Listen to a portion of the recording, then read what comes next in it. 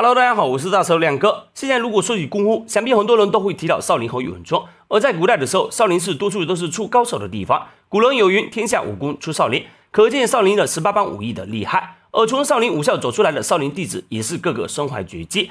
像谢威和叶翔等少林弟子出山后，利用自己的所学，在擂台上也掌握了不俗的战绩。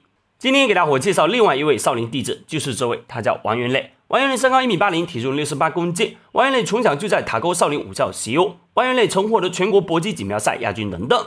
今天给大伙介绍一场中泰对抗赛，是由我国选手王元磊对阵泰国选手素提乐的比赛。赛前，王元磊已经取得了四战四胜，其中三次 KO 对手的不败战绩。本场比赛的时候，王元磊年龄才只有十九岁，而这个素提乐来头也不简单。赛前，素提乐已经取得了四十九战四十胜的不俗战绩，可以说也是位极具实力的选手。比赛到底有多激烈呢？接下来我们就来一起欣赏精彩。画面。本场比赛是泰国战队来中国踢馆的赛事。本场比赛，泰国战队带来了众多高手，而素提乐就是其中的一个。比赛开始后，素提乐先是以正灯鲜花之人，而后双方马上进行了短暂的试探。紧接着，王元磊也毫不示弱，马上以连续重拳还颜色。接下来，双方马上进行了激烈偶遇，双猛对拼。而后，素提乐以双猛的扫地暴踢王元磊。紧接着，只见王元磊马上猛冲上去，以连续重拳将素提乐击倒。素提乐虽然想奋力站起，但是无奈手脚已经不听使唤了，裁判也马上叫停了比赛。